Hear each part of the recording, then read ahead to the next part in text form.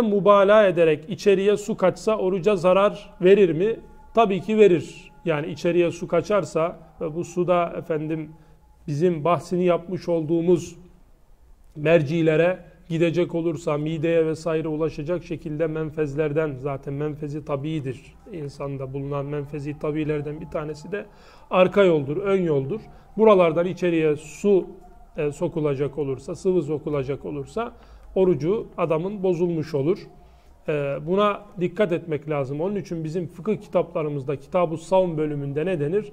Oruçluyken yapılan taharetlerde ihtiyatla e, davranmak gerekir ve fazla efendime söyleyeyim e, yani abartılmaması diğer zamanlarda olduğu şekilde fazla aşırıya gidilmemesi gerekir.